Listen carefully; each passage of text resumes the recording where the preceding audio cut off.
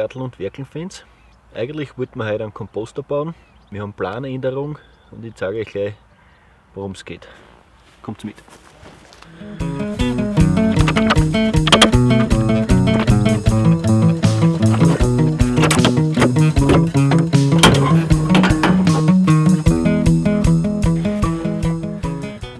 Das da hinter mir sind Sommerflieder, Schmetterlingsflieder.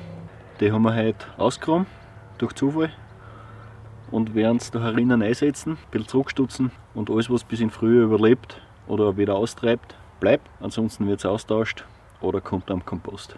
Dann starten wir an. Ne?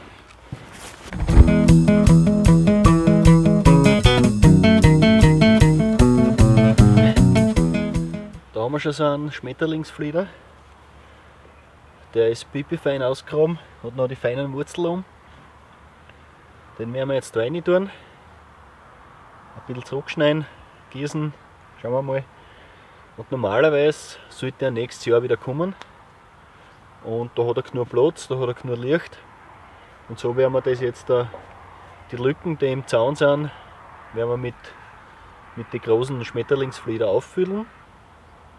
Dann haben wir schon mal einen Teil von der blühenden Hecke. Mir schwebt so eine Mischmaschhecke vor, so ein bisschen natürlich, ein bisschen leicht gepflegt, chaotisch, irgend sowas. Das ist immer so ein bisschen ein, Wagnis. Im Herbst einsetzen. Der Winter ist relativ rau und streng da herinnen. Es geht ständig irgendein Wind, die Pflanzen neigen zum Vertrocknen. Äh, genaueres werden wir dann im März, April sehen. Da fängt die Saison ein bisschen später an da herinnen. Und jetzt starten wir.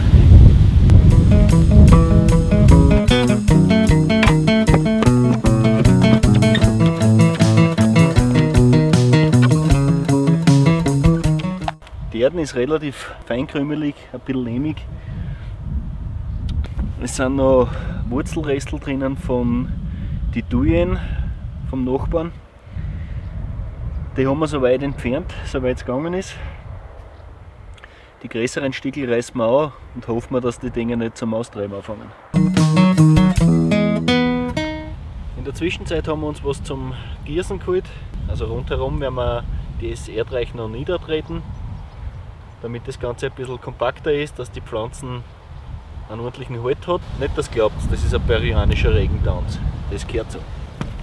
Ich bin ja froh, dass das keiner sieht. Da haben wir jetzt eine Gießrinne. Wenn sich die Pflanzen ein bisschen gewöhnt hat an den neuen Standort, werden wir das noch anhäufeln mit Erden, voll machen, ein bisschen an Gießrand lassen. Dann wird das Ganze gemulcht. Das Heu dazu, das ist unser große, unsere hohe Wiesen gewesen, die haben wir abgesenzt. Das Heu dazu trocknet schon an der Sonne. Das wird schon langsam. Mit dem kann man super rundherum mulchen. Das ist ein Schutz für die Pflanzen im Winter, aber auch ein Paradies für die Wildmäuse. Schauen wir mal, wer stärker ist.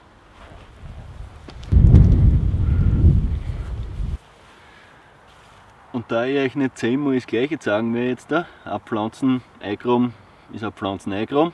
Pflanzbereich groß genug machen, tief genug, Erden rein, gescheite, Pflanzen rein, andrucken ordentlich am Rand, einen Gießrand losen, eventuell mulchen, wenn ihr die Möglichkeit habt. Ein bisschen zurückschneiden werden wir es dann noch. Auf alle Fälle, wenn euch das Video gefallen hat, wir würden uns über ein Like, über einen Daumen nach oben freuen oder über ein Abo, falls ihr noch nicht abonniert habt. Bis zum nächsten Mal.